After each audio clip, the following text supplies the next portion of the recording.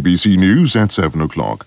Nigel Farage says he has changed his mind and will stand as a candidate for Reform UK in July's general election.